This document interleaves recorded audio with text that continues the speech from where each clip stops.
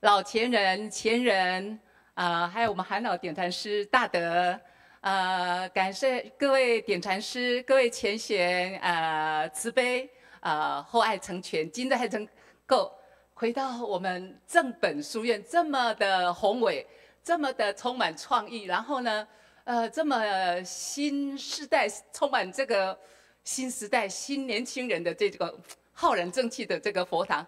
或许有点像刘姥姥进大观园，有点这个受宠若惊。那能够回到这里来跟各位前贤共结善缘，真的是这非常非常的开心。呃，那么后学是六月八号临时呢有一个任务回来陪伴妈妈。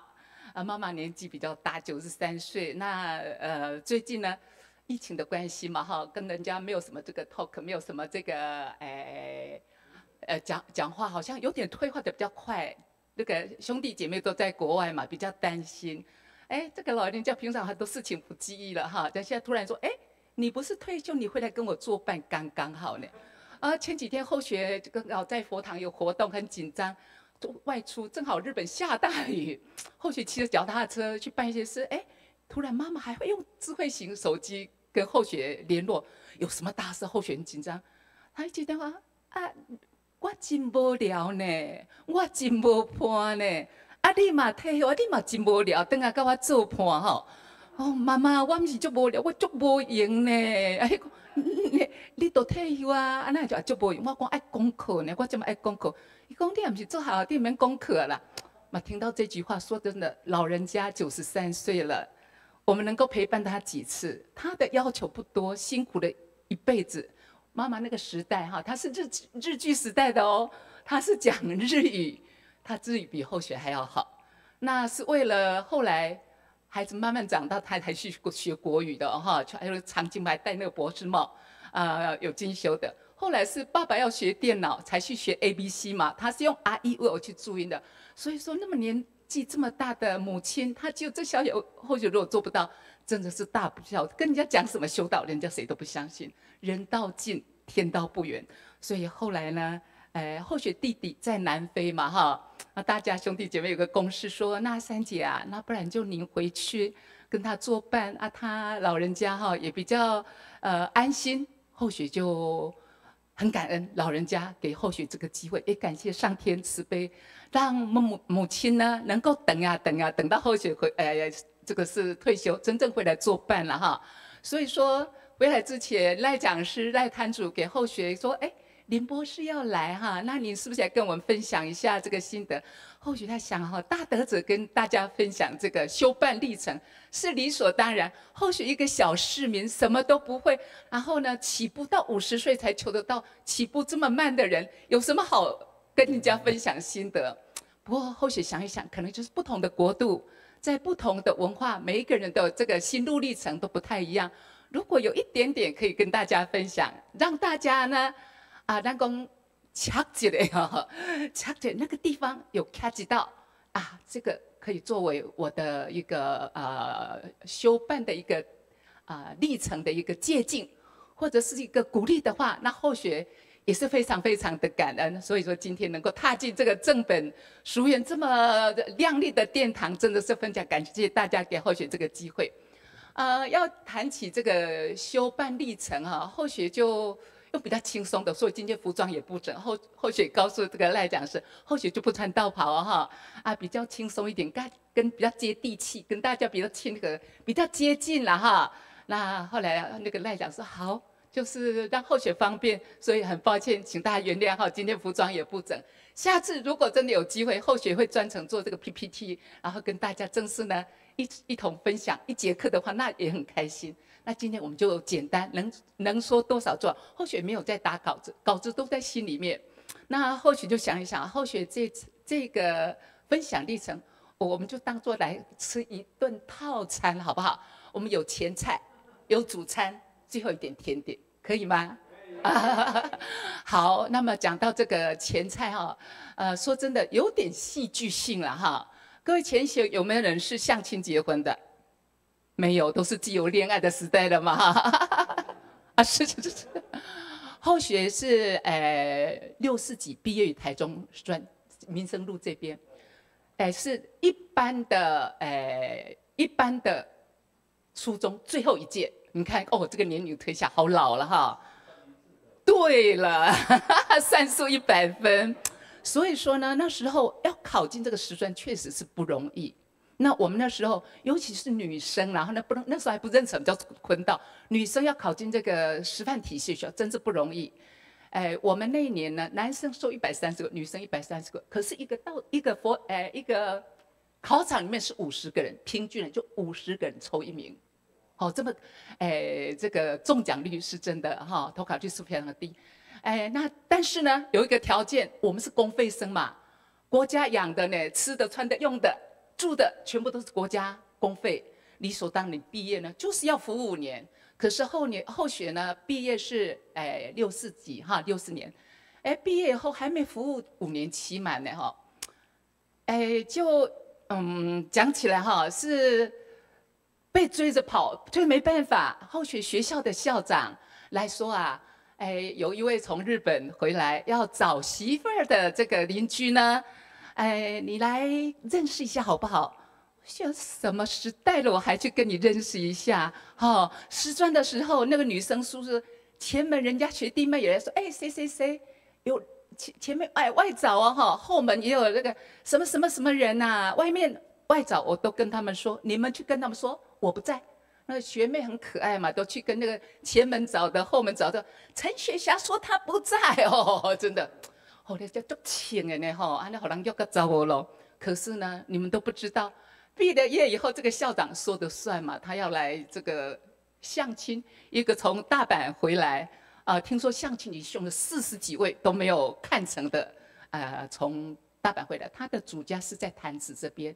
那这个，诶，他的主家啦，哈，就是主家可能都是台中市长林端堂这一边。简家是很早在清末的时候，就是世家应该是都不错，都是医生世家，都到那个汕头那边去当医生。他们去日本留学也都是大部分都是当医生，呃，反正讲起来这个家世是不错。那所以说来提亲的时候，爸爸被真的疲劳轰炸，哎，相亲之后，我我觉得，啊，这个时代有相亲，妈妈就说阿郎都来呀，你就端个茶给人家喝。那时候好像还没有茶叶才，像我们正本的茶叶那么香，那好没有茶叶的。家里有蜂蜜，就倒着蜂蜜茶就去端茶。等下端茶进来，哎，妈妈还有红包呢，吼，很惊讶嘛。我们这个时代哪有端茶的？没有。哎，妈妈是妈妈说，哎，不然几人分分一包 红包也分一包，反正就这样，没当一回事啦，当好好玩哈。所以不能当儿戏，婚姻不能当儿戏。那没有办法，人家看上了啊这个阿公哦，从仁化这边，每天一大早就走路到那个竹子坑。我们家住的比较乡下，那个林讲师就知道，每天一大早就走那么遥远。阿公哈，走路去跟爸爸说：“啊，好，无论如何把你这个女儿哈嫁给我当这个万这个哎大孙哦，做新妇了。”啊，就是反正讲得很恳切啊，就分析他那边的状况。无论如何啊，你这个女儿去到我们那，我们一定要好好照顾呢。好话说尽。过了几天，日本婆婆也回来，公公也回来，他的同学都是早期一中毕业的嘛，对不对？一定是什么，哎，第一信用合作社的老大，第二级或者第三中，反正都都是老大。那个时代，可能就是这样子。那一下子这个说要爸爸已经都没有啊，婆后的答应引起啦，哈，就是这样。妈妈也是被那么烦的不行，哎呀，你就答应的时候，我说哈啊，我就是文也不会呢，怎么办？赶快去那个 IMC 学一点好的。啊，这个男男孩子也很也很有趣哦，他们家姓杨哈，他看了以后好像像了那么多，好像就是看到候选可能还是觉得蛮满意的吧，大概是这样子啊。啊，这个候选有点不幸了哈，他就诶从了 NHK 去学中文，啊，就是每个礼拜都会写那个写信来，信都是爸爸在看，因为我看不懂日文嘛哈，爸爸要负责看信，啊，这么样的机缘怎么会有这个亲事做成了？就很莫名其妙，然后后来，哎，婆婆也跟爸爸说啊，你的女儿得带我们啊大阪呐，我会煮底咖，好猪脚给她吃哦，我会煮一点中国台湾菜哦，你不用担心，我会让她去念日语学校，让她把什么都学会。哈，这个人哈 不能太傻，善良的人一定会被人欺，就讲人家讲的话可能都是相相信的嘛，哎，就傻傻的就这个。那个时代哦，也没有什么开放什么观光，哎，签证没有嘛，就结婚过去还要依亲生活什么，哎，就这样嫁过去，哎呦，真的，第一天到达那个家，不得了了，泼出汤啊呢，啊，铁皮屋呢，讲的那么好，他这个儿子是他们家经营大饭店，他是大饭店的，是这个小么小开，哎呀，叫做哎小开，啊啊这个样子。人都已经过去了，飞机也落地了，也不能说赶快我再跑回家，也不太可能啊！就既来之则安之啊！我们受过这个礼教，我们比较严格嘛。尤其那时候师专，我们都是还军事教育长大的，就是我不能给台湾人丢脸。我们做台湾媳妇也，要要给台湾人留一点颜面。爸爸是我们竹子坑的，爸爸很有威严，他就是为邻里做很多很多事情，打工在胆嘛。打给人就单雷公，哦，声音很大。我们在二楼的话，他从一楼嘣一下，我们都会赶快跳起来。这么严厉的爸爸的呃儿儿女，我们不能给爸爸丢脸，不能给他像一个。但是后续全部都得忍下来，也不敢说。哎，去到那里要给家人打电话报平安，哈，电话现在被切了，大家知道为什么嘛？哈，这个家庭的经济有坏到这种地步吗？离谱到这个地步吗？哎。真的是有点离谱，可是呢，你来了没有办法了哈。那很快呢，女儿也要诞生了，就这样子忍下的。后来，呃，慢慢的不到两年，后续病了，病得起不来。那个什么甲状腺机能亢进，去给医生看，医生告诉告诉告诉后续把老公叫这个太太的病要回娘家去静养。这个我们日本话叫体质靠 milk，就是那种甲状腺，哎，就是那个什么，哎。亢进就是那个分泌不平衡，就是太紧张。好，那老公，照理你把我迎过来，应该要照顾我，不是不是？你怎么可以？你进来就是要帮我们家服务到底。婆婆身体不好，小姑、小叔、小全家人那么多人都是后续长媳的责任。哎呦，日本话也不通呢。婆婆怎么沟通？她有一天说：“哎，都喝酒可大赛，喝酒可大赛。”我刚把胡椒拿给她，她马上。龙骨菜啊，龙骨菜什么我不知道，胡椒是菜刀。他说你菜刀给我，我拿个胡椒给他，当然要生气了。可是胡椒、胡椒跟胡椒不是很像吗？我怎么知道，对不对？啊，去买菜的，反正这生活上的困难很多很多，所以这个前菜呢一点都不好吃。然后不到几年病倒了，只好回台湾动手术，动完手术。比较能够思考的那个甲状腺机能一起来之后，你那个心脏跳点真的没有办法思考。哎，下来我知道我必须要走出去，找一条自己的出路。哎，这时候很不可思议的，我的干妈是一位虔诚的基督徒。那他我们那个如此很多眷村嘛，那眷村里面呢都是那个哎蒋宋美龄，她在照顾这些眷村的这些眷属哈。她有一个秘书叫皮秘书，她来给他们开会，呃，开会完了，他就说：“你们这些眷属有什么事情需要我帮忙的，尽管说。”我的干妈就说：“哎呀，我的老公是一个芝麻点儿都不大的小官，没什么好拜托。倒是有个朋友，他现在日本，他是师范体系专科毕业的，有没有人能够帮他找一个工作？”哎，这个皮秘书二话不说，马上打电话到神户那边呢。因为他是国民党的一个哎海外支部，打电话说，我有这样一个人才，能不能帮他找工？哎，然后呢，呃，或许像有也可以，没有可以。一回到大阪呢，这个秘书呢，马上写信来说，你到我这儿来，正好大阪中华学校缺一个老师，中途出缺，你能不能校长急着要我帮他找人才？我什么都不懂，我踏出家门，大阪什么样子我都不知道，也没坐过电车，真的是 乡巴佬。可是呢，没有办法，你踏上那个环境，也没有人体谅你，语言不会，环境不懂啊，这个文化不懂，也没有办法想象说要照顾你，哈，这就是单干你拱大拱大，敢大敢大就自己承担。可是没有想到，这个是后学人生的一个大转折。他一介绍。然后我说很害怕，我不知道。他说你坐计程车到我这里来，我帮你付计程车费，就去了。哦，那天还很紧张嘞，因为孩子那时候已经哎刚好满三岁，去了以后呢，他就拿一个介绍信，你去找大阪中华学校的校长。大阪中华学校在哪里？我不知道。然后那个他就告诉我从什么地方坐车坐。那天到校长高兴的不得了。那我说不行呢，我有一个孩子，他现在如果要人照顾，我没有办法来上班。校长说，我学校就有幼稚园，学生才三个，你的孩子送在第四个，老师理所当然。我说，哦，真的是上天有这么好的机会吗？没有想到。可是幼稚满老师说不行，我们要满四岁才可收。可是我孩子才三岁，校长马上跟他说：“学校的老师就在身边，你能收？校长一定是全权做主。”校长网开一面，哎，没有想到进入大阪中华学校，人生又是一个转折了。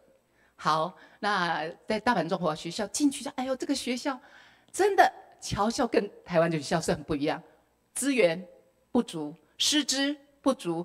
呃，这个呃，资源教科书什么都不足，我看一看哦，我跟校长建议，校长你这些书后学来帮你从台湾再引进一些我必须教学要用的。校长很开心，马上就让我去教那个小学一年级。这么一教小学一年级，以后家长都那个陈老师如果不教小学一年，我们都不要把孩子送过来。学生本来只有三四个，教到快十个了，十几个了，超过二十个了。校长很开心，他终于，然后行李不让变，个变他做不开，你起码总是你要要站起来。我们也是知道，你不能守株待兔，要走出去。我们师范体系的理念，或许是台湾政府养大的嘛，好，我们要回馈中华民国政府，我们对我们自己政府一定要绝对拥护。不管再怎么样，海外你要传扬中华文化，只有中华学校是最理所当然。我们顺便介绍一下，日本有三家我们台湾系的侨校：东京、横滨、大阪。横滨是国父纪念校，一百二十几年以上的历史，非常的老。然后呢，东京比我们大阪再大一点，两所学校都有高中，但是大阪年纪最轻，还没有高中部。那但是也是进步最有空间的啦。那后学很很很幸运，总是进入学校，学校一直在改变了。学校呢？说真的，我们道场都在培育人才。真的，国家的希望在哪里？在教育。教育的希望在哪里？在人才。道场也是一样，所以人才是一定要培训的，一定要培育。校长呢，呃，遇到我不知道说帮他怎么样找找比较优质的人才，否则那个老师都没有资格的。呃留学生的太太啦，哈，这些官员的太太就来教，他不是专科嘛，一定是方法不是那么的 OK。哎，学生办不起来，你学校理所当不办不起来。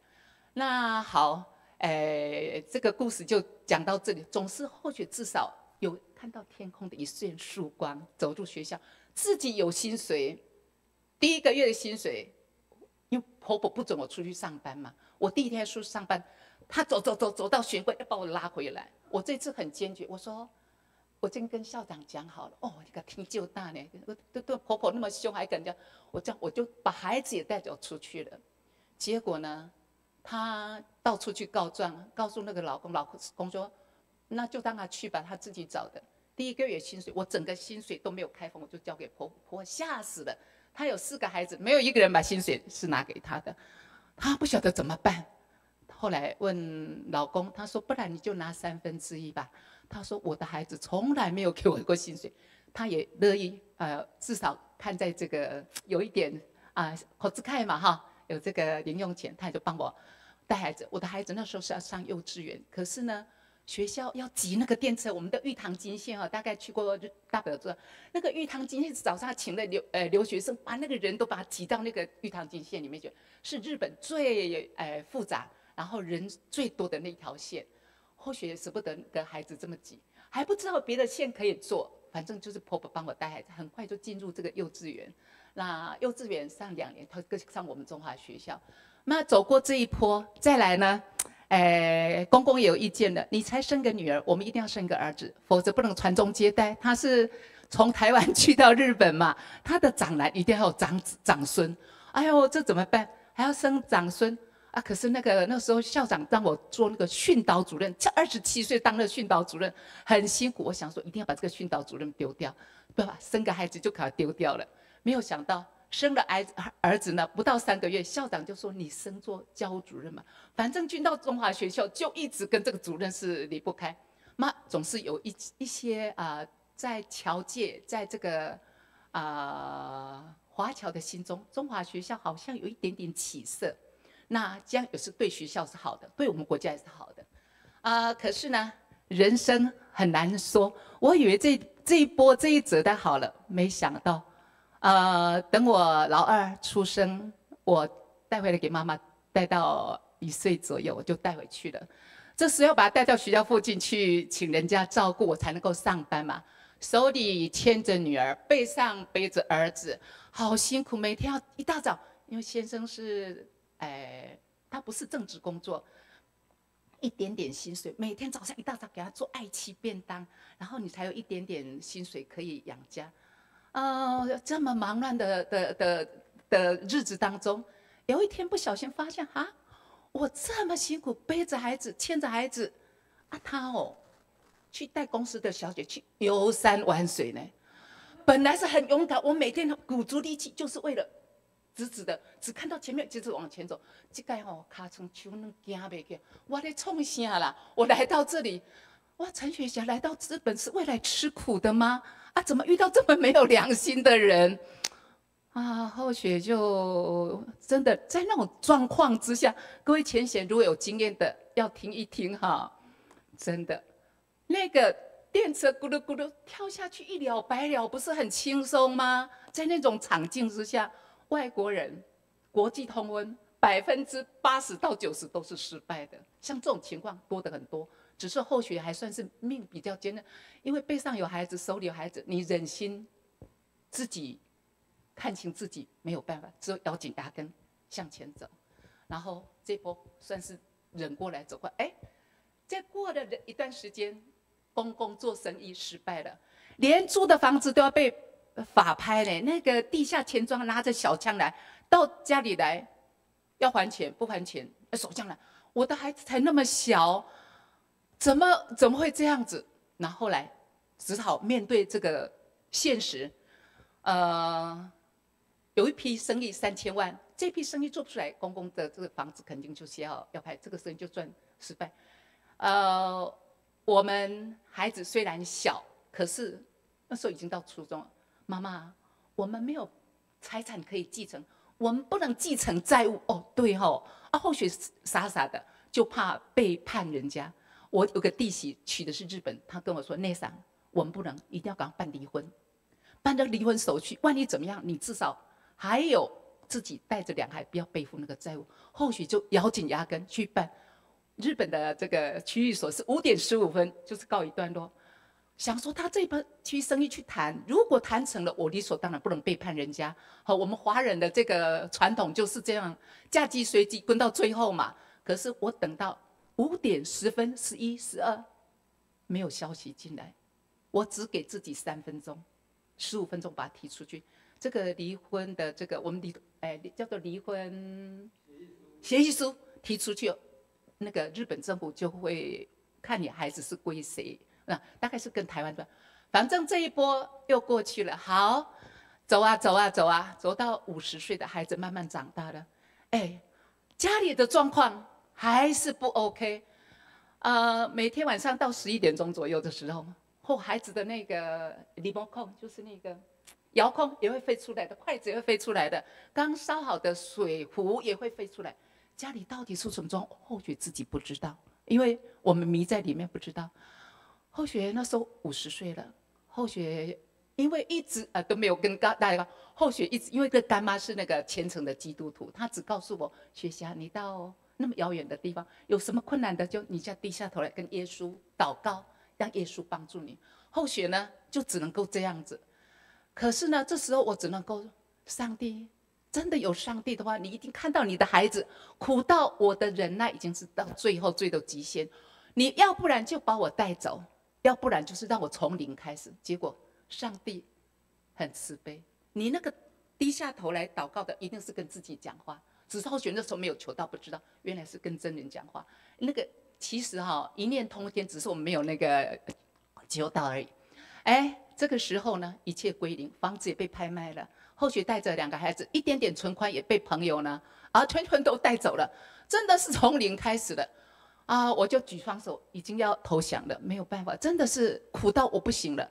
这时候，伏击我们的大地呢，从南非啊写来一封信：三姐啊，你跟妹妹呢，你到南非来走走，天那么大，地那么大，啊，海那么大，你不要在日本被绑死了。因为后雪就是在前啊一两个月回到家，爸爸妈妈，我们那个单位工跟妈妈哦，看到糟糕了，我们这个最疼爱的三小姐。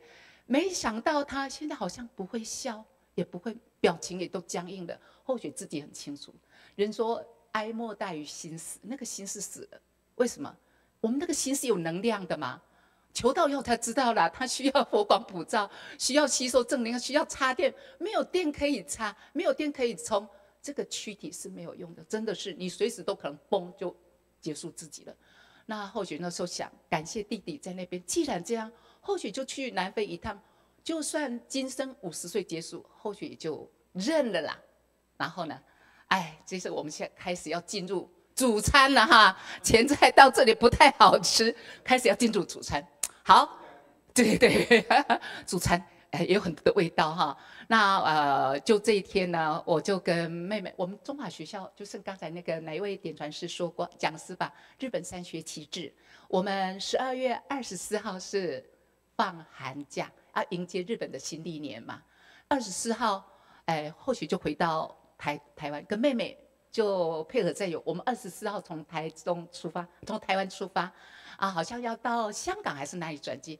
到了那个哎，East London，到了东伦敦，啊，正好是十二月二十五号。啊，那时候呢，他们都是放假，放那个 Christmas 跟那个呃 New Year。哎，就是放从哎圣诞节一直放到新年，外国大概是这样子。照理没有人，可是呢，有一位他们称他为点传师，可是后续只认识耶稣，你什么事我都不知道。那还有弟弟一位拜把兄弟，他们说叫做陈讲师，你什么事我也不知道。反正我这一生什么都不骗，不怕，我只怕被骗，不要骗我哦，哈，真的。可是他们就来骗我呢。吃完饭，那个讲师就三姐啊，我们来求道。哦，你要讲啥？不要说，不要再来骗我，啊！弟弟就说哈啊，曾经跟后学弟弟哦，自己的人不敢讲哎，怕说被反弹。可是弟弟家有一个佛堂啦，那我想弟弟不会骗我嘛哈啊！那个弟弟的朋友这么真诚，我卖卖切点人而已啦。那跟妹妹两个人，弟弟跟弟媳妇在家，他们也不能做银保嘛，对不对？好像他们的呃规定是这样，可是什么事到后期是完全不懂。完全完完全，与其人家说半信半疑，或许是完全不信。我只信耶稣。然后那个点传师就说：“好，跪下来求道啊，传了三宝。哦，传了三宝。等一下要复习三宝的时候，我只问点传师。我们那个点传师姓陈，陈月照，陈点传师，说一生都感谢他。好，故事他进入这个主餐，一直都感谢他，从头到尾。求完道，点完三宝，传好的，我只问点传师说：我有没有背叛耶稣？”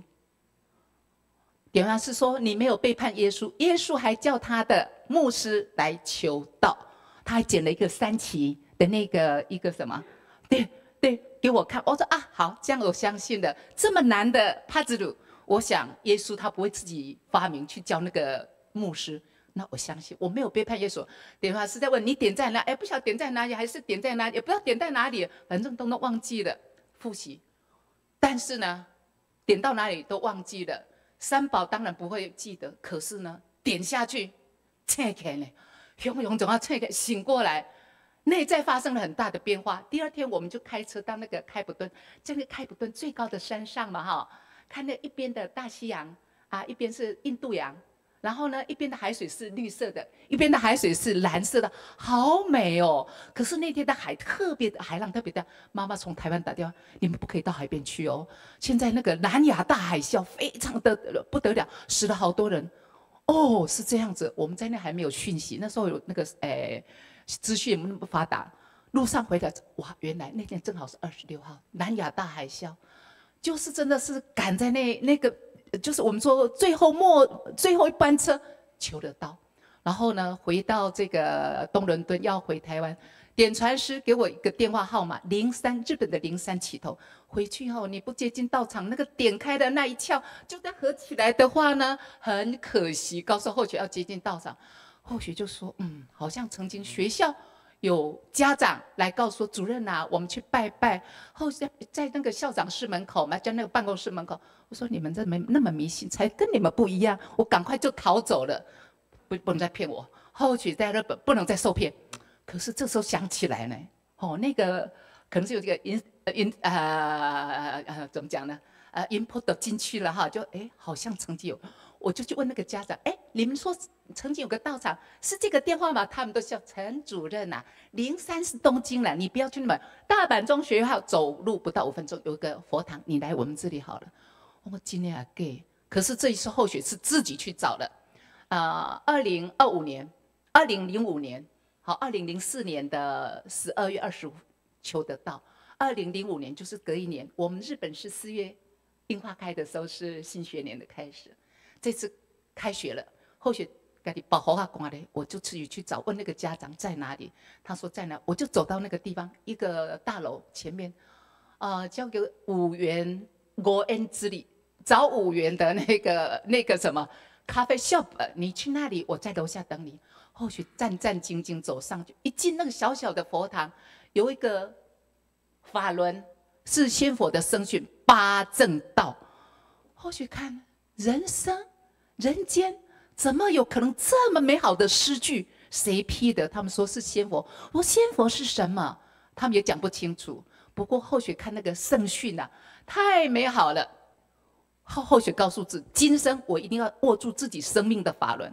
我现在是倒转的生命，但是呢，我要把它再倒回来，哪怕我进了三步，退两步，还有剩一步，我已经进对的路，要把它转回来。从那天开始，其中有个道亲也是我们的家长，每次他一来佛堂，都大叫：“陈老师，你要不要过来？”我什么重要事把丢的，赶快就跑回去，好像那个佛堂就一个很大的吸引力，很大磁铁把我吸进去。就这样，从开始我的修办生涯，修没有修。办也有没有也没有办，只是每天都回到佛堂，然后呢，哎，有一位他们说有一位台湾来的点传师，姓周，周立清点传师是我们日本开荒的点长盛单位开荒点传师，呃，那个道清就他今天要来，我们去见他好不好？我说好啊，哎，六月五五月见，呃五哎四月回到那个佛堂，六月这个点传师从台湾来到日本。他开荒点传师，但是他很不容易，年纪很大的，他是八十岁重新出发。他六十多岁的时候，呃，领命当调师去开荒日本，可是呢，很辛苦啦。那时候没有什么这个签观光签，办得很辛苦。反正没有办得很开。到了七十，到了八十，他重新出发来到日本。我们是第一次见到他。一见到这个点的时候，不晓得为什么后续那个眼泪哦，就哭得不掉，好像几条手帕都不够用，好像人家说，哎，怎么重逢，遇到故人重逢那种感觉。点传师也很害怕，怎么搞得把你弄哭的，抱着后续的脸说，你就善良哎啦，你这个人很善良，到底善良不善良我不知道，反正眼泪就是掉个不停啊，不听话。啊，等一下呢，他就说啊，跟我们讲一讲话，说你们有什么难题要问我吗？好像我们很有很多疑难杂症啊什么的。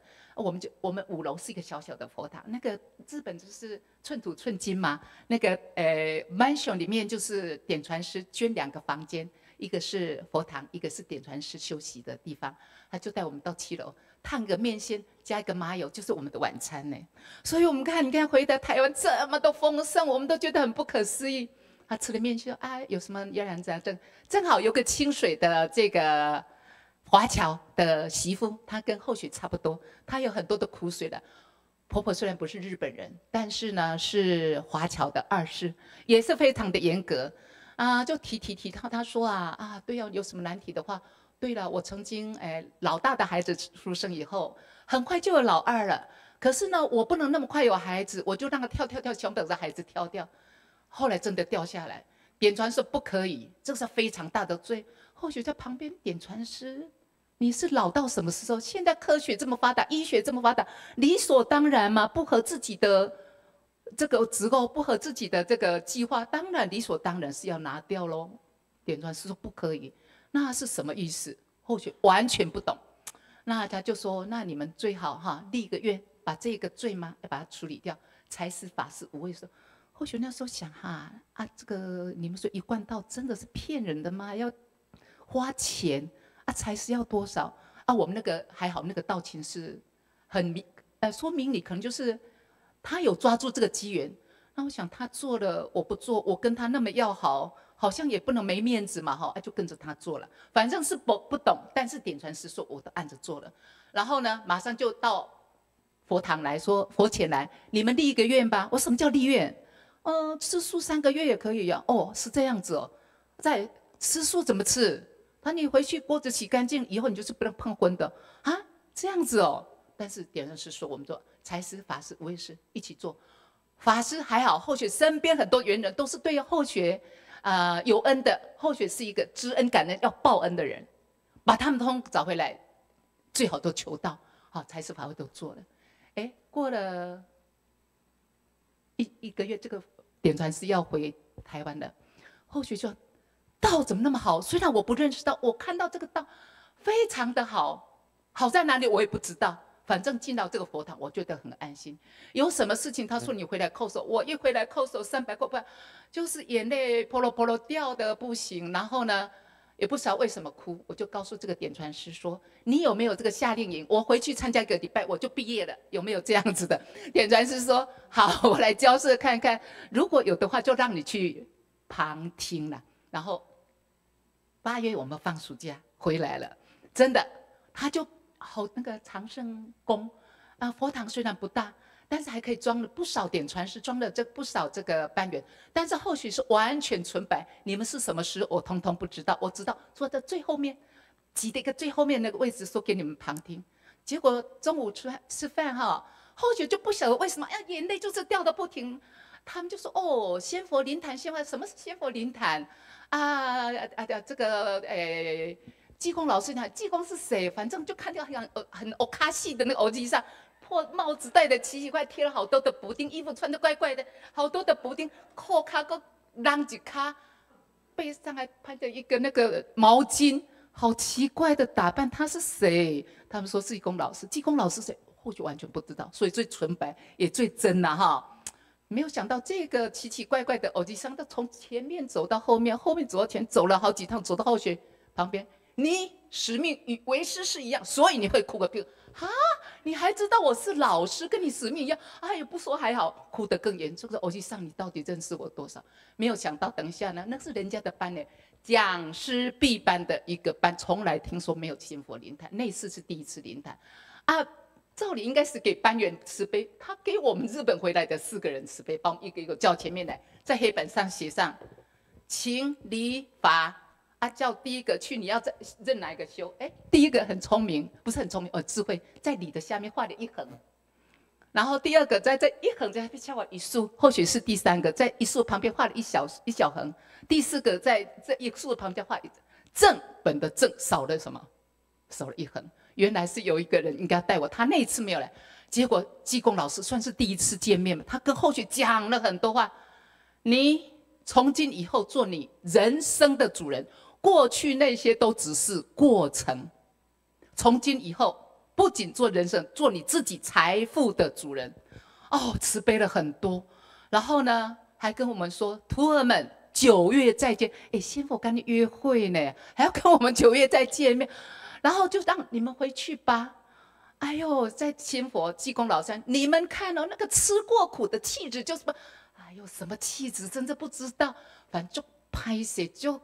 就会害害羞啦，但是没有想到这是第一次跟济公老师碰面，真的是师徒哎重逢，哭那么多，掉那么多泪，原来是有原因，只是那时候不知道而已。到了九月，我们那边大阪开法会，候选那时候班员四个坐站在最前面，或许是第一次当班员，穿得很整齐，一站起来，哎，那个偶机上又出现了。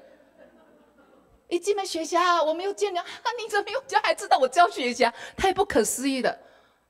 人生那时候真的是开始了。然后呢，哎，后学才当第一次当这个班员，根本没有当班员，有一个借人家灵隐寺的一个讲师来当翻译，我们自己没有没有人才当翻译。然后呢，技工老师等一下就告诉后学，你要跟他多学习。一个姓张张文，我们林荣哲林博士跟他那个是很熟的。好，为师现在拿个万年青，为师现在拿这个，你手也要这样比哦。好，现在开始要放感情哦。老师这么一说，眼泪就到这里，哽咽的讲不出话来呢。仙佛话里有天机，咱们傻傻的不知道，原来他是在教导我们。他这么教导，其实就把正能量就是告诉，就把这个，哎，代天宣化翻译的这个，哎，我们说诀窍，也就是教给你了。可是呢，不懂嘛。好，然后再来就是看仙翁临坛了哦，仙翁一临坛。哎呦，这个欧吉藏更奇怪，弯着腰、驼着背，拿着拐杖、戴着眼镜，他是谁的？大家都说啊啊，他们说吴朽呢哈，呃老朽，怎么怎么怎么，宝宝们还叫大家宝宝，这个更奇怪了。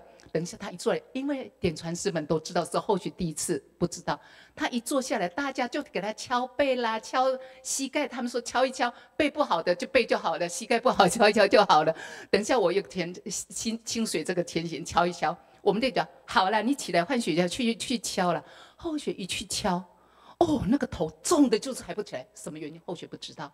仙翁就说：“雪霞，你欠人多，懂吗？什么叫欠人多？什么懂？哪里懂？然后呢？还好智慧有开，回到道场就是只有牺牲奉献。还好你智慧有开呢，就讲这些话。然后呢，后学。”只能拼命的点头，头重的这么抬抬不起来，一直点头。等到仙佛都退窍了，法会开结束了，点传师，我们那个八十岁点传，来来来，大家来来叩手，牵叩手。哦，大家那么重，拜殿都拿好，再再叩手。啊，我要跟大家一起扣吗？好，大家扣，我也一起来扣。原来是什么？点传师知道仙翁讲的，你欠人多，你都嗨了，一定。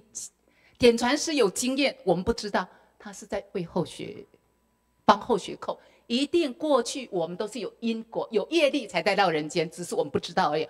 为什么吃了这么多的苦，真的是有原因的啦。啊，还好，点传师帮忙指点以后，我们有在做一些呃回向。啊，回向虽然不懂，但是点师我们都都是真心在做。哎，过了几年，从那时候开始，后学每天学校离佛堂很近，每天一下班就是赶快回佛堂，点传师教后学。翻译，然后呢？后学一定是三百扣、五百扣。技工老师，对不起了，你的这个徒儿哈，真的是破铜烂铁一个。你捡到这个破铜烂铁不能用，后学都五十岁，什么都不会，只有拜托技工老师哈，拿我批我用我，让我呢能够放空，能够学习翻译。想想现在想想，真的是破铜烂铁一个。我们什么都不会，技工老师不离不弃，从那么遥远地方把它捡回来，还能够。给我们机会来个学修讲办，真的不容从那时开始，点传是教后学翻译，每一场有法会，然后回来台湾参班，不管是诶南极仙翁也好，不管是济公老师也好，诶古佛也好，那个何仙姑也好，李铁拐，好多的仙佛给后学直接慈悲，然后呢，后学是很胆小很胆小的一个呃呃一个。呃，小女生啦，先锋知道我们胆小，学家你出来，来，你先来做翻译。你翻译哈，那个有四层楼嘛，要一楼也听得到，四楼也听得到，啊，然后就一楼的徒儿一呃一楼的宝宝们听见了没有？他们说听到了。四楼听到没有？听到了。先翁就告诉后学，你胆子很大呢。我哪里胆子哈？我给个皮皮穿呢。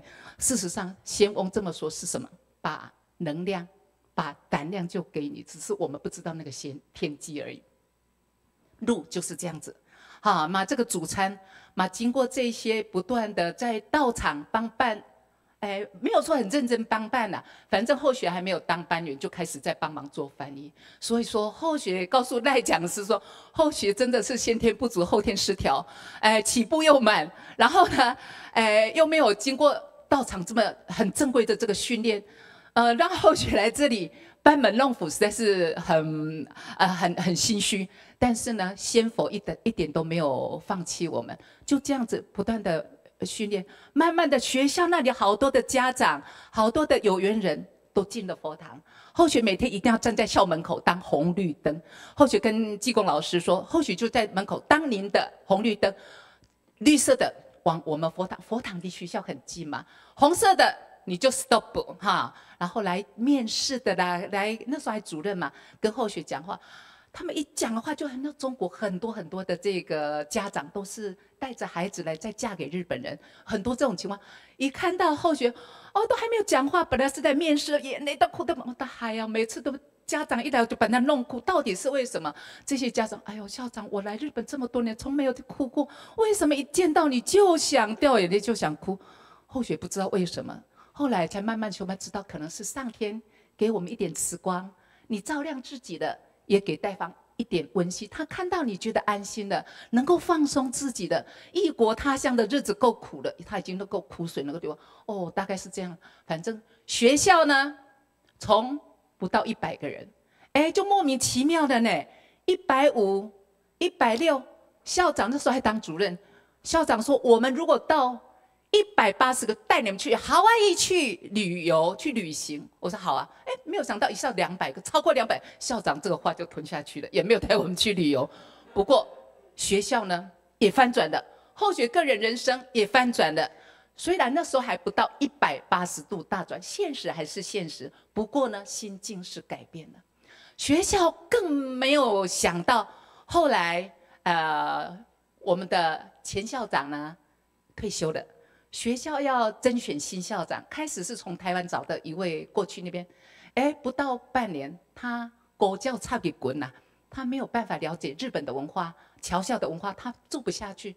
后来理事会跟我们那个代表哎办事处开始在筛选，要帮学校找一位最合适的校长。这时候呢，他们一个非常重要的一个秘书就打电话给后学，哎，陈老师、陈主任。如果理事会呢要你起来当校长，你千万不要推辞，因为呢这个很重要。但是这个话只有你知道，我知道，我们都不能告诉别人。哦，是这样子哦。哎，果真理事会选选选选到最后，你最资深，你起来当校长。可是呢，开法会的时候，济公老师马上说：“学霞，升官不是好现象呢。”有济公老师这句话。我到底是接还是不接？很很犹豫哦。你如果德不配位，你上得去，浮出来钉子一定是怎么样被打的嘛？因为大家都是基层上来。他说后学就可能技工老师给后学一个一个智慧吧哈。后学就跟理事会说：你们那么多的理事长、副理事长，你们选一个代理理事、代理校长，所有的工作我主任来做。最后没有办法。啊，我们说好 one cushion 了哈，就是一个缓冲，那就是半年让你学习当校长，然后呢，教头就来负责你的班级。那那个理事副理事长是基督教的那个长老，帮我们倒茶好多好多的忙，到现在还是帮我们很多的忙。他就是一个大公无私的人，他来代理校长半年，然后或许才升任校长，然后没有几年升校长，哎，我们建校七十周年，学校一直都是红字。黑字大翻转，学校的大楼赚钱了，老师的薪水增加的，我们的设备变好了，所有的大阪府、大阪市都说要给学生们做这个那个，哎，什么黑板，那个电子黑板，雷声大雨点小。我们大阪中学虽然不是很大，我们说到马上做到，学校大翻转。我们那区叫做浪速区，哈，啊，浪速区的区长说以大阪中学校为。模范标杆，我们在办那个春节季，太太多人喜欢台湾，台日关系因为这样不断的升温，大家说爱台湾，然后呢喜欢台湾。我们那个东北大地震之后，哎呦，那个日本人爱台的那个情绪达到最高，台湾人真的是很不得了，太太伟大。有一天我们办完春节季，后学在学校值班一个人。就门口冰嘣，有人按。我说你什么人？一个人，我也不敢开门。他说前几天你们开春节祭，从你们校门经过，又挂日本旗，又挂中华民国台湾的国旗，我来跟你敬礼三礼，给我三鞠三鞠躬。哦，原来是这样子。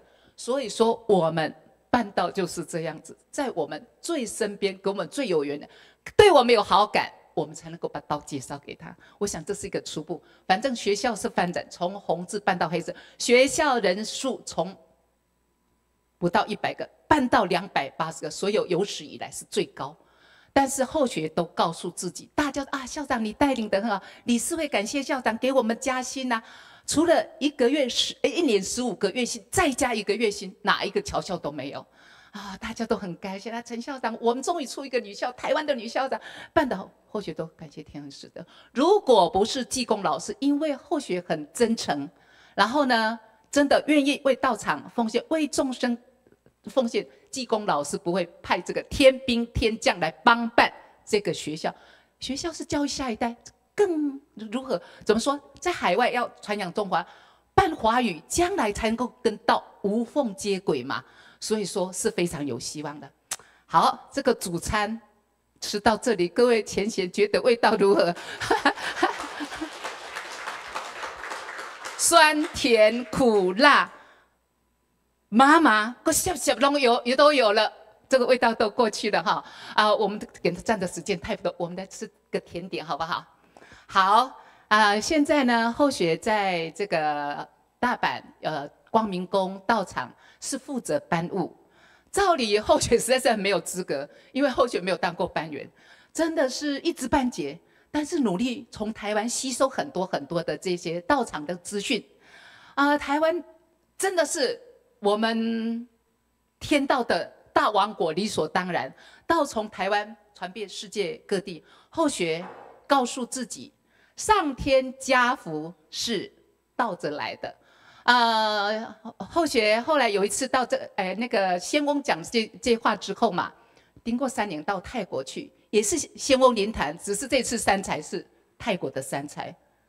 可是呢？仙翁灵坛借窍一样呢，实际上才是谁都一样哦，原来是这样。仙翁说：“雪霞又见面了，过去那些坎坎坷坷，吃苦了苦，吃苦就像吃补，苦尽甘来。那时候可能甘还没有来，但是已经给我们预知。仙佛一定是先说后应，后续傻傻的不知道，没有想到后续有一天。”呃，去年啊，真的是正式退休。所谓正式退，我们应该六十五岁退休。但是因为呢，学校有很大的转机嘛，理事会说，陈校长无论如何哈，拜托你再帮忙两年，再稳一稳，你再退休好不好？我们都很按正规，按照大阪府的规定，还要去重写那个哎规则嘛。我们都很按照准则来的。你没有去这个动作，你又多做两年，算是犯规哦。那我们都按照按部就班来。然后呢？这两年正好遇到疫情。前两年我们零确诊，那么大的一个学校，我们的来路都是有中国来的、各地来的零确诊，那不是天恩师德是什么？只一直到哎第三年我们的奥密克戎的时候，我们才学生慢慢就确诊的。所以各位前贤，啊，上天给我们的这一条路绝对是不二法门。我们都知道，不二法门唯一的就是我们那个。玄关，云雷已经震开了那个物极土，我们的心门已经打开。无论如何，要紧紧握住天命金线。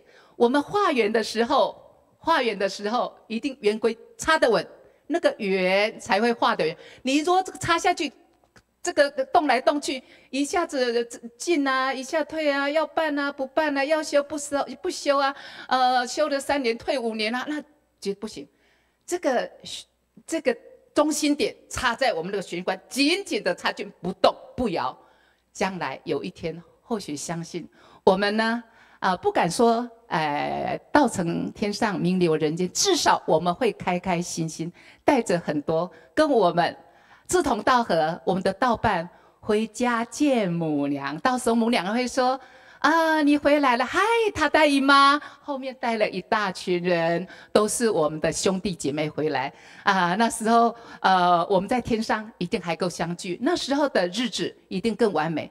愿如果还不了，不能把相还，但是我们如果回天啊交旨了，将来我们像白水生地一样，可以再乘愿而来，一万八年八百年还。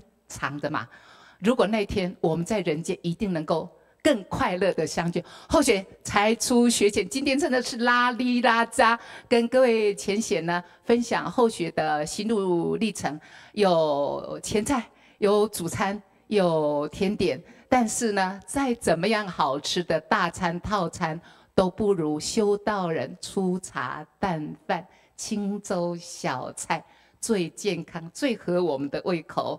那啊。